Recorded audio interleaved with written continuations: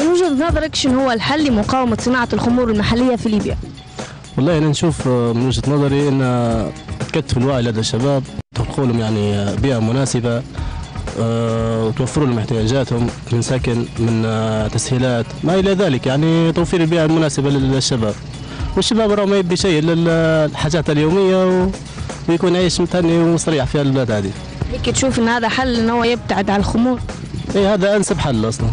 ومع ذلك يعني تضييق يعني الخناق على الجهات اللي توفر في الخمور زي آه، الجهات الأمنية يعني إن تكتف جهودها آه، وتمنع توصيل الشيء هذا لبلادنا.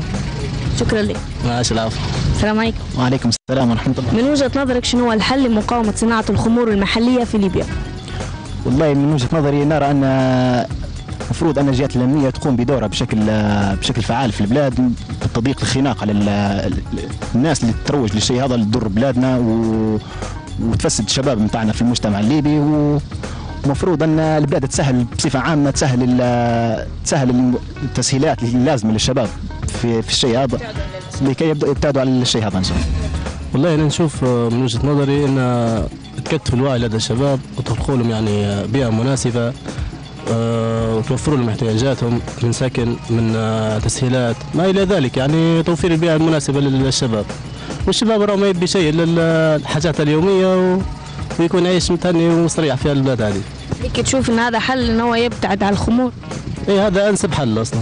ومع ذلك يعني تضييق يعني الخناق على الجهات اللي توفر في الخمور. زي آه، الجهات الأمنية يعني تكتف جهودها وتمنع توصيل الشيء هذا لبلادنا.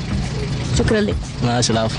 السلام عليكم. وعليكم السلام ورحمة الله. من وجهة نظرك شنو هو الحل لمقاومة صناعة الخمور المحلية في ليبيا؟